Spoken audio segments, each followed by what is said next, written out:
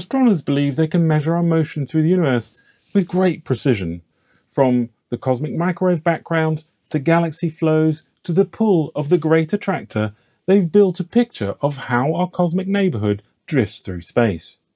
But every time we think we've pinned it down, the results don't agree. Some motions are faster than expected, others point in completely different directions. And the sharpest contradiction yet has just come from a study of over a million quasars. Like the CMB, quasars show a dipole, a kind of universal offset in redshift that can be read as our motion through the universe. But the direction doesn't match. It's almost exactly 90 degrees away from the CMB dipole, and instead points straight down the centre of our own galaxy.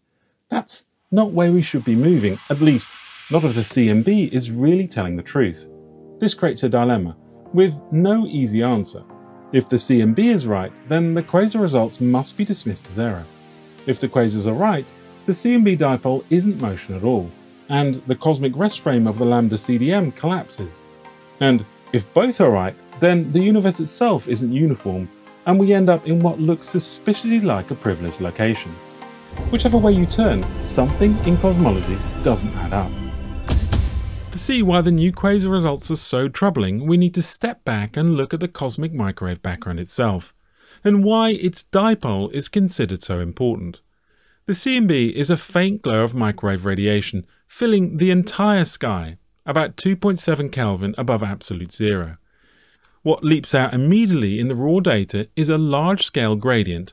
One side of the sky is slightly hotter, the other slightly cooler.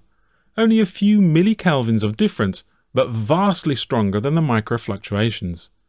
This gradient is interpreted as a Doppler effect, as we move through the photon bath, radiation in the direction of our motion is blue shifted, and in the opposite direction it's red shifted. The result is called the CMB dipole. And this is not a fragile inference. The dipole is a first order feature of the data. It is visible in the raw sky maps before any sophisticated processing, and it has been consistently confirmed by multiple satellites. Foreground subtraction is only needed to clean away galactic dust and synchrotron emissions, the dipole itself remains robust and unambiguous. That's why cosmologists treat it as the anchor of the universe. It defines the so-called cosmic rest frame. Whenever galaxy redshifts are corrected for peculiar motions, or large-scale surveys are aligned in a common frame, the CMB dipole provides the reference. It isn't just a feature of the background, it's the baseline against which the motion of everything in the universe is measured. With a CMB dipole so firmly established as our cosmic reference frame, the natural question is whether other distant sources show the same effect. If the dipole really is our motion through the universe, then every population of far-away objects should reveal the same pattern. Quasars are an ideal test. These are some of the brightest, most distant sources we can observe. They are scattered across the sky in enormous numbers, and their redshifts are measured with precision. If there is a universal motion, quasars should show it. Until recently, surveys were too small to give a clear answer. However, with the release of the Quaia catalogue, containing over 1.3 million quasars from Gaia's data, astronomers finally had the scale needed to measure the effect. The result was unambiguous. Quasars do show a dipole. Their redshifts are systematically higher in one half of the sky and lower in the other. Exactly what you'd expect if we were moving. However, then comes the problem. The direction of this motion does not align with the CMB. Instead of pointing towards Leo, the quasar dipole points almost 90 degrees away, directly towards the centre of our own galaxy. And that inferred speed is not 370 km per second, but closer to 1700, more than four times larger than the motion derived from the CMB. And this isn't the first time cosmic motion has refused to line up. For decades, astronomers have wrestled with peculiar motion flows on very large scales. The Great Attractor was one of the earliest hints, a mysterious pull drawing entire clusters of galaxies towards a point in Centaurus, stronger than local gravity alone could explain. Later came the so-called dark flow, a drift of galaxy clusters apparently streaming towards a direction far beyond the observable universe and across multiple surveys alignments and preferred axes keep appearing where none should exist in a homogeneous isotropic cosmos. The quasar dipole now joins this catalogue of anomalies, but unlike earlier flows which could be debated as statistical flukes or artifacts of limited data, the quasar signal rests on over a million independent objects. It is sharper, cleaner, and harder to dismiss. This creates a stark contradiction. The CMB dipole and the quasar dipole cannot both be telling us our true motion through the universe. One points to Leo, the other towards the galactic centre. One implies a velocity four times larger than the other. So, which one is correct? And what does it mean for the other? To answer that, we need to consider the possible explanations. Let's begin with a mainstream explanation. In the standard model of cosmology, the CMB dipole is non-negotiable. It's treated as the cleanest signal in the entire dataset, a direct Doppler effect that leaps out of the raw data maps. Confirmed by multiple satellites. On that basis, it defines the cosmic rest frame. So, when quasar dipoles point in a completely different direction, the mainstream view is simple. The quasar results must be wrong. It has to be some kind of systematic error in the catalogue, perhaps an uncorrected bias in the data, or a hidden selection effect. The difficulty is that the quasar dipole doesn't vanish under scrutiny. It persists across more than a million objects, and remains even when the sample is divided into independent subsets. And here is the core problem. Quasars are real, resolvable sources. Their spectra are measured directly from Earth and already contain the imprint of our motion through the universe. The CMB, by contrast, is a diffuse radiation field whose dipole is only interpreted as motion through it. If both were truly measuring the same velocity, they would agree. Instead, the quasar dipole points almost exactly 90 degrees away, showing no trace of the CMB direction. That makes it impossible for both to represent our actual motion through the universe. A second possibility is to claim that both signals are misleading, Perhaps the CMB dipole is contaminated by foregrounds, and the quasar dipole is distorted by survey effects. Yet, this is even harder to defend.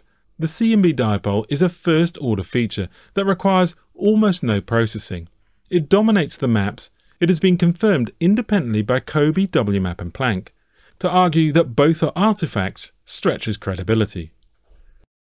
The final possibility is more troubling that the quasars themselves are not isotropic, that one side of the universe is generally different from the other. Yet this would mean abandoning the cosmological principle, the assumption of homogeneity and isotropy that underpins the entire Big Bang model.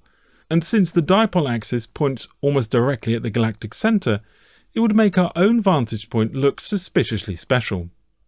For mainstream cosmology then, the only defensible position is that the quasar results are an illusion, because if it isn't, the foundations of the cosmic rest frame, and with it the coherence of the entire Lambda CDM framework collapses. Outside the standard model, there are other ways to interpret what we see. Each comes from a different cosmology with its own explanation for redshift and the CMB. None of them are simple, and each has problems of its own. However, they all share one point in common. They treat the quasar dipole as a real signal that needs to be explained, not dismissed. Let's look at three of the main possibilities tired light, plasma cosmology, and intrinsic redshift. In tired light models, redshift is not caused by cosmic expansion, but by photons gradually losing energy as they travel. The idea that this process could also explain a diffuse background of microwave radiation goes back to the late 19th century. In 1896, Charles Guillaume calculated that the combined light of stars in an infinite static universe would produce a background temperature of about 6 Kelvin. Arthur Eddington refined this estimate in 1926, predicting a value closer to 3 Kelvin. Later, Erwin Freundlich explicitly connected this background to a tired light mechanism, suggesting that photons' energy loss over distance could both account for redshift and generate the microwave field, without needing a hot Big Bang. From this perspective, the CMB dipole could be interpreted as our real motion through that field. The quasar dipole, however, would not mark a velocity but a structural difference. Perhaps we are simply closer to the filament network on one side of the sky than on the other. That would mean quasars in the direction appear systematically less redshifted, while those in the opposite direction, being slightly further away in optical depth, appearing more redshifted. The problem is twofold. First, it's hard to see why this difference would divide the sky along such a clean axis. And second, if the CMB dipole really is our motion, then that same motion should be visible in the quasar spectra as well. Yet the study shows it's not. Plasma cosmology treats the CMB not as a primordial relic, but as a local radiation field generated by plasma processes. This opens two possibilities. One is that the dipole really is our motion through this field.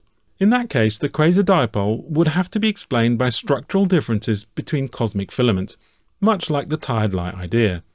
But this runs into the same contradiction seen before. The quasar dipole shows no trace of the CMB motion. The other possibility is cleaner. The CMB dipole may not be motion at all, but simply an intrinsic anisotropy in the local radiation field. In this scenario, the quasar dipole would then be explained in terms of distance differences across filament networks. This avoids the motion problem, though it leaves us with no clear physical reason for the anisotropy of the CMB field itself.